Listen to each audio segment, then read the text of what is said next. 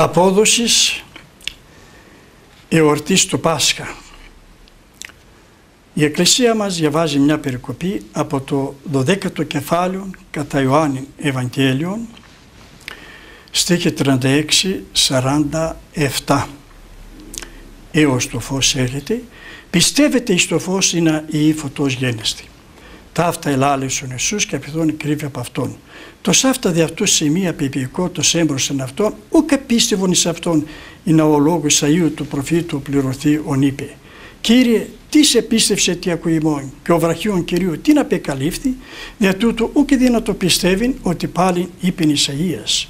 Τε τύφρο και αυτόν τους οφθαμούς και πεπόρο και αυτόν την καρδία ή να μην είδωσης τους οφθαμείς και εννοείς στην καρδία και επιστραφώσει και ιάσουμε αυτούς. Τα αυτά είπε η Ισαΐας ότι είδε την δόξα αυτού και ελάλεσε περί αυτού.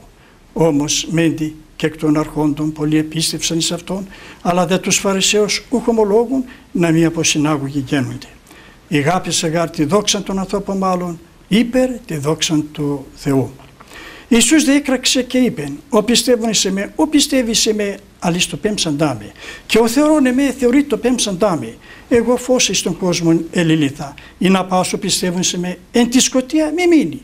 Και αν της μου ακούσει το ρημάτων και μη πιστεύσει, εγώ ου κρίνω αυτόν, ου γαρ ήλθον, ή να κρίνω τον κόσμο, αλλά να σώσω τον κόσμο. Εδώ, σε αυτή την περικοπή θέλω να κάνω τρία σχόλια.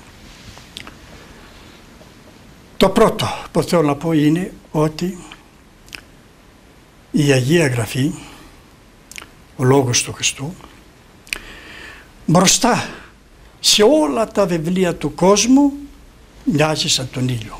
Και όλα τα βιβλία του κόσμου μπροστά στην Αγία Γραφή μοιάζουν σαν τα κεριά. Απόδειξης ότι η Αγία Γραφή μπροστά σε όλα τα βιβλία του κόσμου μοιάζει σαν τον ήλιο είναι τούτο. Ποιος παρακαλώ, ποιος συγγραφεύς που έγραψε πολλά βιβλία ετόλμησε ή θα τολμήσει να πει αυτά τα λόγια που λέγει εδώ στην περικοπή ο Χριστός έως το φως έχετε πιστεύετε εις το φως ή να ή φωτός γένεστε. Ποιος συγγραφές που έγραψε πολλά βιβλία ετόλμησε ή θα τολμήσει να πει αυτά τα λόγια που είπε ο Χριστός; Εγώ είμαι το φως του κόσμου, ο ακολουθών ημί, ο μη περπατήσεν της σκοτία, αλέξει το φως της ζωής. Ποιος συγγραφεύς που έγραψε πολλά βιβλία ετόλμησε να πει αυτά τα λόγια που είπε ο Χριστός επάνω στον τάφο του Λαζάρου εγώ είμαι η Ανάσταση και ζωή και αμέσως τον ανέστησε. Ποιος ετόλμησε να πει αυτά τα λόγια που είπε ο Χριστός εγώ είμαι η οδός και αλήθεια και η ζωή και να προχωρήσω παραπέρα. Ποιος συγγραφεύς που έγραψε πολλά βιβλία τόλμησε να πει αυτά τα λόγια που είπε ο Χριστός ο ουρανός και η γη παρελεύσονται οι δε λόγια μη η μη παρέλθωση. Το δεύτερο που θέλω να πω είναι ότι ο Ευαγγελιστής μας διδάσκει. Πολλοί από τους άρχοντας πίστευσαν ότι ο Ιησούς είναι ο αναμενόμενος Μεσσίας Χριστός. Αλλά κρυφά έτσι πίστευαν. Δεν ομολογούσαν την πίστη τους φανερά, δημόσια. Γιατί; Διότι οι Φαρισαίοι είχαν δώσει μια εντολή. Όποιος θα ομολογήσει ότι ο Ιησούς είναι ο Χριστός θα τον αφορήσουν, θα τον διώξουν από την συναγωγή. Και έτσι αυτοί οι άνθρωποι λέγει ο Ευαγγελιστής προτίμησαν να πάρουν τη δόξα από τους ανθρώπους παρά τη δόξα του Θεού. Τέτοιοι άνθρωποι σαν τους άρχοντας της εποχής του Χριστού σε κάθε εποχή υπήρχαν, υπάρχουν και θα υπάρχουν. Υπάρχουν άνθρωποι που παρουσιάζονται ότι είναι άνθρωποι πιστοί, χριστιανοί, άνθρωποι της Εκκλησίας. Αλλά όταν η αθεία και οι άπιστοι καταπατούν τα λόγια του Ευαγγελίου δεν μπορούν να βγουν να μιλήσουν και να κηρύξουν την αλήθεια του Ευαγγελίου. Φοβούνται και γερνάνε με τις πλάτες και φοβούνται για τη θέλουν τη δόξα από τους ανθρώπους παρά τη δόξα από το Θεό. Αλλά όμως όποιος αρνείται το Χριστό και ο ίδιος ο Χριστός θα τον αρνηθεί. Καθώς ο ίδιος λέγει στο δέκατο κεφάλαιο κατά Μαθαίων 32-33 στίχους «Πάσουν όστις ομολογήσεν εμεί έμπροστε των ανθρώπων ομολογήσω κακό είναι αυτό έμπροστε του πατρός μου του εν ουρανής. Όστες δαν αρνήσετε με έμπροστε των ανθρώπων αρνήσουμε κακό αυτόν έμπροστε του πατρός μου του εν ουρανής. Θα τον αρνηθούμε θα μας αρνηθεί και ο ίδιος ο Χριστός. Και το τρίτο που θέλω να πω είναι ότι ο Χριστός εδώ λέγει δεν ήρθα να κρίνω τον κόσμο αλλά να σώσω τον κόσμο.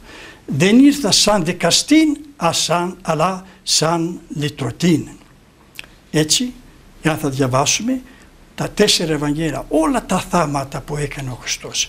Πουθενά, απολύτως πουθενά, δεν κατηγορεί το μεγαλύτερο αμαρτωλό. Κατηγορεί όμως ο Χριστός τους υποκριτάς, αυτοί που έχουν δύο πρόσωπα, άλλα λένε μια φορά, άλλα λένε άλλη φορά. Αυτούς κατηγορεί, την υποκρισία κατηγορεί ο Χριστός. Κανέναν αμαρτωλό δεν κατηγορεί. Εδώ θα αναφέρω μια περικοπή από το ένατο κεφάλαιο κατά Μαθαίων Ευαγγέλου στίχη 9-13. Εκεί ο Χριστός κάλεσε το Μαθαίον από το τελειώνο και τον έκανε μαθητή. Και από τη χαρά του ο Μαθαίος ότι έγινε μαθητής του Χριστού έκανε ένα τραπέζι να φάει ο Χριστός και οι άλλοι μαθητές του. Είχε καλέσει στο τραπέζι και μερικούς τελώνας και αμαρτωλούς. Ήταν και μερικοί Φαρισαίοι. Και όταν οι Φαρισαίοι είδαν το Χριστό να τρώγει με τους τελώνας και αμαρτωλούς, μορμούριζαν και άρχισαν να κατηγορήσουν τον Χριστό και να λένε στους μαθητάς του διότι ο διδάσκαλός σας τρώγει και πίνει με τους θελώνας και αμαρτωλούς. Όταν το άκουσε ο Χριστός είπε δεν έχουν ανάγκη από γιατρό υγιείς αλλά οι ασθενείς. Πηγαίνετε τους λέγει να διαβάσετε στον προφήτη Νοσέ που λέγει αγάπη θέλω και όχι θυσίαν. Έτσι και εγώ ήρθα στον κόσμο όχι για τους θελώνας, για, για τους δικαίους αλλά για τους αμαρτωλούς. Έτσι ο Χριστός ήρθε στο κόσμο να σώσει τους αμαρτωλούς. Τέλος, όταν ο Χριστός πήγε στο σπίτι του Ζαχαίου και δεν πήγε στο σπίτι του Υπουργού ή του Βουλευτού ή του Νομάρχου ή του Δημάρχου να καθίσει, να ξεκουραστεί και να φάγει, αλλά πήγε στο σπίτι του Ζαχαίου να φάγει και να ξεκουραστεί. Άρχισαν να τον κατηγορήσουν και τον Χριστόν αλλά και τον Ζαχαίο. Τότε ο Χριστός είπε τούτα τα λόγια. Ήρθε γάρ ο Υιός του ανθρώπου, ζητήσε και σώσε το απολός. Έτσι ο Χριστός δεν κρίνει κανέναν αμαρτωλό αν θα μετανοήσουν. Γι' αυτό ο Χριστός μας διδάσκει την μετάνοια να επιστρέψουμε κοντά Του. Μάλιστα. Είναι πολύ σημαντικά τα τελευταία γιατί δυστυχώς ο πειρασμός της υποκρισίας είναι διαρκής και κινδυνεύουμε όλοι να πέσουμε σε αυτόν. Κάτι για να κλείσουμε. Τελευταίο. Για να κλείσουμε και αυτήν την ομιλία ήθελα να πω τα εξής. Πρώτον, να πιστεύουμε ότι σύμφωνα με την Αγία Γραφή ο ύπνος είναι ένας μικρός θάνατος και ο θάνατος ένας μεγάλος ύπνος. Δεύτερον, για να ειδούμε τον αόρατο Θεό πρέπει να έχουμε ανεμεταξύ μας αγάπη.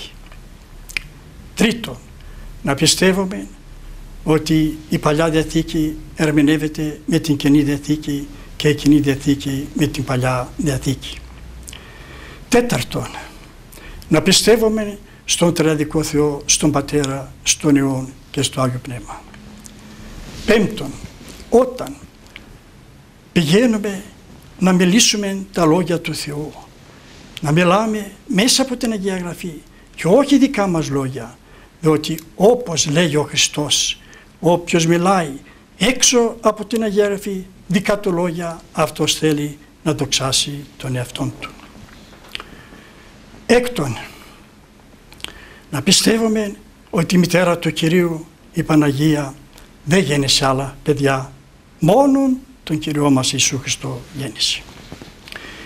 Και έβδομον, να πιστεύουμε ότι ο Χριστός ήρθε στον κόσμο να σώσει τους αμαρτωλούς. Γι' αυτό ας έχουμε την ελπίδα στον Χριστό. Αλλά για να τα δούμε όλα αυτά, αγαπητοί Απόστολε, πρέπει να γνωρίσουμε τρία πράγματα. Πρώτον, να πιστεύουμε ότι η Αγία Γραφή είναι ο Λόγος του Θεού. Δεύτερον, να τη διαβάσουμε και να την τηρήσουμε. Να τη διαβάσουμε, τι μας λέει η Αγία Γραφή, ότι είναι το γράμμα του Θεού. Και τρίτον, να την τηρήσουμε. Όταν θα πιστέψουμε ότι η Αγία Γραφή είναι ο Λόγος του Θεού, θα τη μελετάμε και θα την τηρήσουμε, τότε σε αυτά τα λίγα χρόνια που θα μας χαρίσει ο Θεός 50, 80, 100 χρόνια. Να ζήσουμε με αγάπη, με χαρά και με ειρήνη και όταν θα έρθει αυτή η ευλογημένη ώρα να φύγουμε από τον κόσμο τούτο στην πέραν του τάφου ζωή.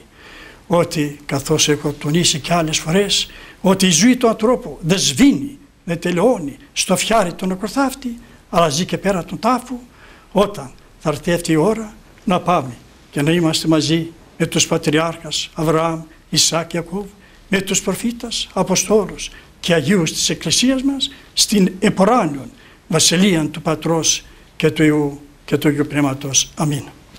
Ευχαριστούμε πολύ για τα όσα παρουσίασες αγαπητέ Γιάννη τα τόσο ωφέλιμα αλλά που δυστυχώς η καθημερινότητα μας κάνει πολλές φορές να τα λησμονούμε.